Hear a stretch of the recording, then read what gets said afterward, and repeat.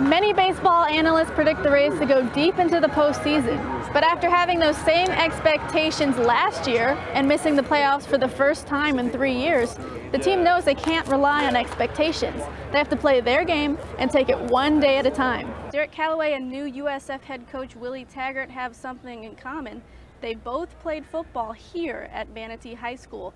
Now, Hurricanes head football coach Joe Kinnon says it's no coincidence that Calloway ended up at USF. 73-65 was the final from the Sun Dome as the Bulls lost their second straight conference game to number 24 Notre Dame. The Bulls went into halftime with a seven-point lead, 35-28, but the second half was a different story. Notre Dame went on a 15-5 run to take the lead for good. The Bulls were led with career days from Zach Leday and Javontae Hawkins. Leday had 17 points, a Bulls scoring high and Hawkins added 11 of his own. Notre Dame was led by Jerian Grant, who had 18 points, and Jack Cooley added 14 rebounds for the team. Next, the Bulls will head to Milwaukee to take on Marquette on Monday evening. From the Sun Dome, I'm Cassandra Khan for Bulls Radio. Rehab, a term becoming very familiar for today's young athletes. Children 14 and under account for 40% of all sports injuries. The USF Physical Therapy Center and the Stop Sports Injuries campaign are combating this trend by reaching out to coaches and athletes and teaching them techniques in preventative medicine. We can share information with the patients and their families, parents for example, and coaches, and then have them and, and direct them to a resource such as the website in order to learn more and to guide them in their injury prevention and then injury recovery. While in rehab, USF is helping athletes get stronger and smarter. A good amount of education goes into it as to how to prevent future injuries and how to maintain the new level of performance that we've established because my goals for my patients are to not only get them back to their prior level but make them a much more efficient athlete than they were before they got hurt. The Stop Sports Injuries campaign was created in 2007 when doctors saw that overuse injuries in youth athletes was becoming a critical issue. They partnered with USF in March of this year, and together they hope to promote safe and smart play while extending the career of the Tampa Bay youth athlete. Reporting from the Morsani Center, I'm Cassandra Khan for Florida Focus. The world's fastest spring break party added some horsepower to its lineup this year with the addition of historic sports car racing. Unlike other racing series, the cars and drivers are readily available for fans to access and learn about. Called HSR, the goal of the race is to expose fans to pieces of history at the track. So historic sports car racing is really very special for drivers, for the crew, for all the people involved with the organization to be able to keep these historic pieces competitive and continue to race over the years. Historic sports car drivers are different from IndyCar drivers because driving is not their day job. They do it for the passion of the cars and not for the money every single person that's involved with the vintage sport is here for a love of the automobile. If you talk about the rest of the paddock area here for the Indy cars, for example, you'll have some people here because they're sponsors. You'll have some people here who are looking to increase their business. With vintage racing, everybody passionately loves cars and they love racing. This car is a McLaren chassis with a, it's called an M6B is the model. I've been involved with vintage racing and with, with uh, HSR for, for several years now. A lot of fun and it's a great way to go racing. Great way to come out and have fun on a weekend. Reporting from St. Petersburg, I'm Cassandra Khan for the Digital Bullpen. After a seven-month hiatus, baseball is back in Tampa Bay.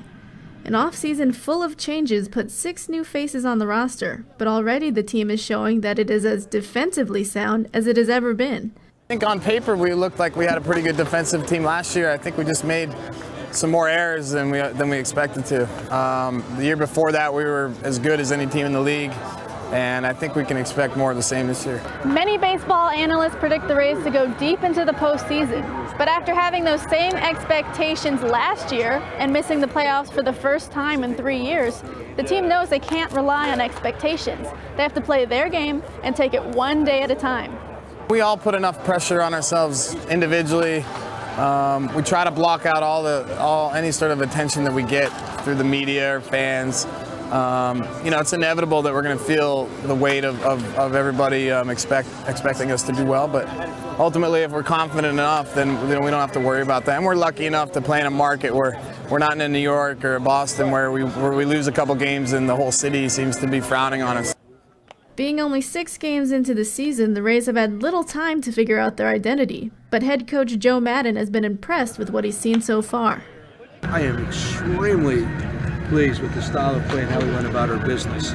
Everybody. So that's why you play 162 games. You know, you don't go nuts one way or the other. Uh, we did. We're, we're good. I really enjoyed watching the Rays play baseball for three days. So the stage is set and the bats are ready. Only time will tell if the Rays will be the team they were predicted to be. From Tropicana Field, I'm Cassandra Khan for the Digital Bullpen. Sitting on a stage with his teammates in front of family and friends, Manatee defensive tackle Derek Calloway officially signed his letter of intent to join the USF Bulls football program, and Calloway thinks USF is the perfect fit. Uh, USF is a place for me. I like the coaches up there. The players are good. For, I'm going to be around for the next four years, three years of my life. So uh, I really like the atmosphere they got going up there, and I think that program is turning around. That's why I want to be a part of it. Derek Calloway and new USF head coach Willie Taggart have something in common. They both played football here at Manatee High School. Now, Hurricanes head football coach Joe Kinnon says it's no coincidence that Calloway ended up at USF. I, I, think that's the whole reason that he went there. He had already committed to the University of Louisville, and uh, you know Louisville beat Florida in the bowl game. You know it was a, a great commit for Louisville, and and uh, Willie came down and, and, had an opportunity to meet him and talk to him, and uh, I think he wanted to be a part of what Willie's trying to build at USF, and so you know we're happy for him, and you know hopefully we'll have others down the road that will will end up going to USF. Reporting from Manatee High School, I'm Cassandra Khan for the Digital Bullpen.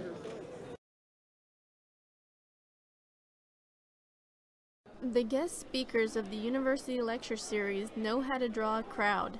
The USF-funded lecture series features many famous speakers who connect with their audiences with their experiences. Previous guests include Maya Angelou, rapper Common, Rosario Dawson, and most recently Bill and Giuliana Rancic. This year I think is a lot better than previous years. Um, this is my second year at USF, but so far uh, the guests are more geared towards us and relating it, topics back to us, where I felt like before they were just kind of speaking at us, not really connecting with the audience. That connection has fans lined up for hours to see what guest celebs have to share. The USF University Lecture Series is one of the most coveted in the nation. Now in its 26th year, the series continues to bring in strong guests for the people of the Bay Area. Outside of the hall where the event is held, fans can purchase the latest books written by the speakers. After the lecture, a meet and greet is held. The lectures are advertised locally and open to anyone who wants to go. E! News host Giuliana Rancic and her husband Bill shared their story with over 800 attendees. It was in the local newspaper, um, my mom actually read it for me because we watched the show, so we were really excited to come. Next up for the ULS, Emmy Award winning environmental journalist Jeff Corwin.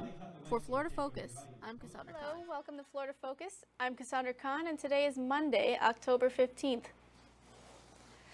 A St. Petersburg soldier was killed in Afghanistan. Army Specialist Brittany Gordon is the first female soldier to die from the Tampa Bay area in the Iraq and Afghanistan conflicts. The 24-year-old Gordon was the daughter of St. Petersburg Assistant Police Chief Cedric Gordon. Funeral arrangements have not been made.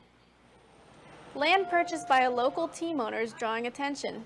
Lightning owner Jeff Vinik was part of a group that purchased seven acres of land along Channelside Drive.